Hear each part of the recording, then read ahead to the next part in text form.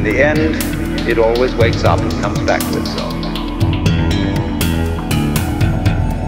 And when you're ready to wake up, you're going to wake up. And if you're not ready, you're going to stay pretending that you're just a little, poor little me. And uh, since you're all here, I assume that you're all on the process of waking up.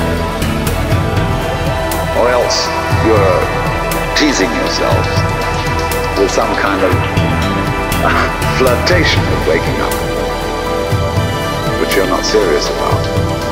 But I assume maybe you are not serious but sincere, that you are ready to wake up. Ja, danke schön. Ähm, bitte was? Man braucht keine Lesezeichen mehr.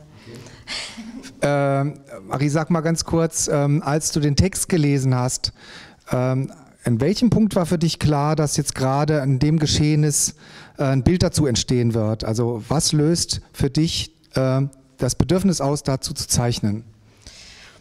Naja, was war das? Ich habe mir einfach die, die Sachen rausgepickt, wo, wo es besonders, äh, ich weiß nicht, blutrünstig oder wo einfach, wo bei mir so Bilder entstanden sind. Ja. Und, und meine Art zu arbeiten ist eigentlich auch, mich interessieren Abgründe, Traumata, mich interessiert das, was äh, jetzt normal nicht vielleicht so genügsam ist, das zu zeichnen, interessiert mich. Und dann aber in meiner Art, wie ich das mache, das ist eigentlich, dass du, wenn du das anschaust, erstmal nicht genau siehst, oh, was ist da eigentlich los, sondern erst auf den zweiten Blick, dass die Leute dann sagen, ui, das war aber doch. Oder Kinder gucken sich auch gerne meine Zeichnungen an und dann ähm, die Eltern sagen dann oft, ui, das muss man mal weglegen. Der Michael sagte gerade, wenn man die, ähm, das Buch nicht liest und nur die Zeichnung anscha anschaut, kann man eine eigene Geschichte erfahren. Ist das beabsichtigt von dir? Also hast du die Sachen auch so konzip äh, konzeptuiert, dass äh, da eine Geschichte entsteht oder ist es eine, eine Zufälligkeit, die äh, da herausgekommen ist? Na, die Zeichnungen funktionieren irgendwie auch für sich alleine. Da kann man dann auch sein, sein. Und deswegen haben wir jetzt das auch mit der Ausstellung mal so zeigen wollen, dass die eben unabhängig dann von dem Text auch jeder sich da irgendwas zu denken kann und manche Zeichnungen gruseln mich selber.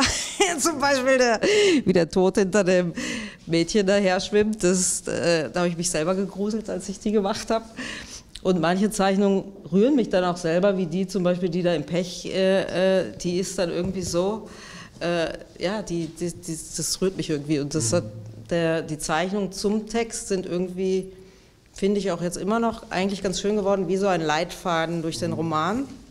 Und nämlich dann, danke an den Verlag, äh, dass äh, wir das so umgesetzt haben, dass sie eben eingewoben sind in den, in den Text und nicht, dass es Text gab und dann im Mittelteil irgendwie die Zeichnung, sondern dass es wirklich, dass der Text fließt drumherum mit den Zeichnungen und dann weißt du auch irgendwie, wenn du es liest, okay, an welcher Stelle bist du jetzt und wo warst du schon. Michael, gibt es äh, für dich so äh, Lieblingsthemen oder Lieblingszeichnungen, wo du sagst, hier, das sind meine Favoriten? Ja, ganz schwer. Also als mir Mary immer die Sachen gezeigt hat, habe ich immer gesagt, na die hier und die hier und die hier und die hier. Ähm, da tue ich mir wirklich ganz schwer. Also ich mag zum Beispiel, also das war eine meiner ersten, die ich irgendwie, weil ich das sehr eindrucksvoll finde, ist wirklich dieser Tod mit der Badekappe, weil, es, weil ich auch die Geschichte eigentlich dazu, die im Buch ist, sehr, sehr schön finde. Aber grundsätzlich ist das für mich wirklich unmöglich. Also ich mag so ziemlich alle. 90 Prozent mit denen bin ich wirklich, würde ich mir daheim aufhängen. So eine Frage an euch beide. Ähm, wir haben eben gehört, zum Beispiel von der Anti-Rutschmatte. Gibt es, also die Messe, die Fleischereimesse in Leipzig, die gibt es? Nein, die gibt es nicht. Nein. Und die Anti-Rutschmatte ist dann dementsprechend auch erfunden? Ich fürchte ja. Bin ich dir voll auf den Leim gegangen? Also die Frage wäre natürlich an euch beide, gab es Recherchen zum Thema äh, Fleischerei? Also warst du auf dem Schlachthof, hast du dir das angeschaut? Also ich habe äh, Schlachtungen früher miterlebt. Ähm, ich hatte auch das Angebot, mehrmals äh, jetzt nochmal zu gehen und, und irgendwie, ich wäre so, ich wäre gegangen, aber es ist dann irgendwie zeitlich nie wirklich ausgegangen. Und es ist so, dass ich eigentlich sehr viel diesmal recherchiert habe im Sinne von gelesen über das Metzgerhandwerk anno 1900, anno 1950. wie sich das verändert, wie die Technik Einzug hielt, was gibt es da für neue Gerätschaften, Maschinen. Es ist ja teilweise, wenn man bei einem Schlachthof ist und sich ansieht oder einfach sich so Kataloge ansieht, was gibt es da für Gerätschaften, dann, kann man's, dann staunt man allein nur über die Maschinen, wie die konstruiert sind oder wie viele verschiedene äh, Pinzetten es gibt, um irgendwelche Trichinen und Bandwürmer aus dem Vieh zu ziehen und so weiter. Also das erinnert dann eher an die Arbeit von Chirurgen, wenn man sich das dann so auch von dieser ganzen technischen Seite her. Und ich lese immer wahnsinnig gerne reale Dinge, die ich dann aber nach Möglichkeit möglichst wenig verwende, beziehungsweise sie so verfälsche und verändere und mit Halbwahrheiten und dann wirklich ausschließlich Fiktionen anreiche, dass man dann beim Lesen nicht mehr weiß, was kann man jetzt eigentlich wirklich glauben. Also das ist immer so ein Aspekt in meinen Büchern, wo ich sozusagen den Leser, die Leserin auffordern will, sich selber ein Urteil zu bilden. Und man muss eigentlich wirklich alles, wenn man man darf nichts nachplappern aus diesem Buch, obwohl das oft sehr, sehr fundiert klingt, wenn man Fleischer begegnet, weil man könnte auch ganz, ganz furchtbar daneben liegen. Okay, wir passen auf und sind achtsam. Marie, für dich gab es da irgendwelche Konsequenzen? Bist du Vegetarierin geworden oder äh, wie war für dich die Arbeit zu diesem Thema? Nein, Vegetarierphase habe ich schon hinter mir. War ich von 13 bis 30 und dann habe ich von Fleisch geträumt, ja. und dachte, das muss ich jetzt wieder ändern. Aber was das Buch betrifft, ich, äh, mich hat eigentlich interessiert, die, es geht ja um die Biografie dieser beiden Personen. Und die Biografie ist eigentlich so, äh, dass man sich fragt, wo führt das jetzt hin? Ja? Jemand, der, der als Kind äh, Tiere ausweidet und sich interessiert für dieses Metzgerhandwerk, was, was passiert mit so, also das Interesse war eigentlich so, das, was über dem steht, dass es jetzt um Fleischer oder Fleischessen oder irgendwie geht. Also was ähm, auffällt an dem, an dem Roman, das fand ich auch ganz äh, erstaunlich eben, weil du angefangen hast bei dem Programm der, der äh, Messe in Leipzig, ist, dass es da ganz viele Aufzählungen gibt in diesem Buch. Also zum Beispiel, ich habe mir das mal rausgeschrieben, ich habe das mit wirklich mit äh, Heißhunger gelesen, das Buch, also Großvaters Inventarliste mit 50 verschiedenen Gegenständen, die dort aufgezählt werden, Gründe, Metzger zu werden, aber auch Facetten des Metzger-Daseins, also was ein Metzger ausmacht und das Leben des Metzgers bereichert. Ähm, dann haben wir eine ganze Reihe von afrikanischen Heiligen, nach denen Zimmer in einem Hotel benannt sind.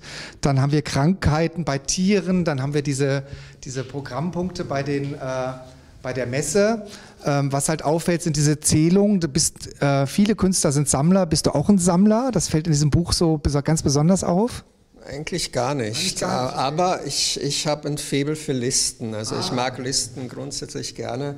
Und in diesem Fall habe ich die Listen so bis, also Listen, es hat sind nicht immer so ausgewiesene Listen, manchmal sind es auch nur so Aufzählungen im Text, die man, die man innerhalb einer Geschichte mitbekommt und gar nicht so explizit als Aufzählung betrachtet. Aber es gibt sehr viele aufzählende Elemente in diesem Buch und zwar bei beiden Geschichten, weil die beiden Geschichten für mich immer sehr unterschiedlich waren von Anfang an. Also im Grunde hat die Geschichte mit New York und der, der Familie des Mannes und dem Mann und der Frau gar nichts miteinander zu tun, außer dass sie halt Metzger sind. Aber sie sind auch anders erzählt, sie haben andere Töne und es gibt eigentlich sehr wenige Gemeinsamkeiten in den Geschichten, außer diesen zum Beispiel Verschränkungen, dass beide Geschichten mit 50 Punkten beginnen bei der Frau, wo sie sich an schöne Jugenderinnerungen, die alle mit einer Fleischhauerei zusammenhängen, erinnert.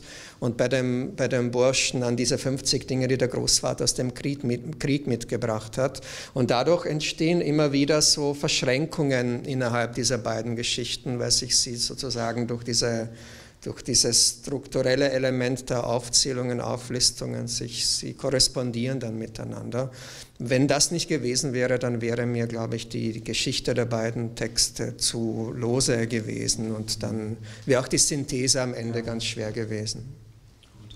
Also das Buch kann ich sehr empfehlen. Ich habe es, äh, wie gesagt, äh, ruckzuck durchgelesen. Äh, ich halte es nochmal hier in die Kamera.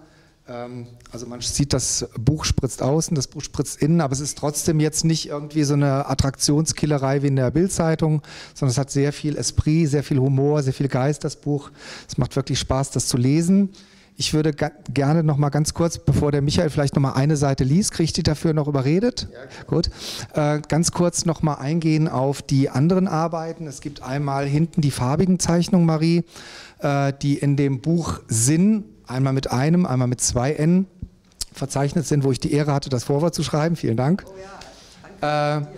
Äh, und ähm, das andere sind diese Rondos. Vielleicht möchtest du ganz kurz noch mal was zu diesen beiden Werkgruppen sagen. Das ja, also nochmal zu sagen, ich arbeite eigentlich immer, meistens sind es so Arbeitszyklen, die haben verschiedene Themen und dieser Katalog Sinn, der da drüber auch liegt, war eine Thematik, die sich wirklich eigentlich so auch um blutrünstige Sachen und Schuld, Sühne, Schuld, Schuldhaftigkeit befasst und das ganze Thema so durcharbeitet und, und äh, auch Geschlechterkampf und wie geht das zusammen, wie, wie oder äh, ein, ein Kapitel heißt da innere Schweinehunde, ja, was ist eigentlich mit einem, was passiert so im, und das sind so Sachen, die interessieren mich und genau, und diese, das war eine große Ausstellung in Österreich und da sind einige Werke zu sehen und die äh, Rondos ist eine Arbeit, die sind, ist in diesem Jahr entstanden, äh, eigentlich für ein Kaffeehaus in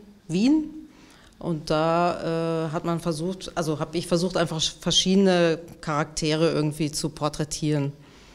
Und das war eigentlich ganz schön, die Arbeit, weil dann saßen immer die, also es ist ein Kaffeehaus, was sehr gut besucht ist, und es saßen immer dann unter den, unter den Porträts auch wirklich dann reale Menschen und das hat eine gute irgendwie Kommunikation stattgefunden, habe ich.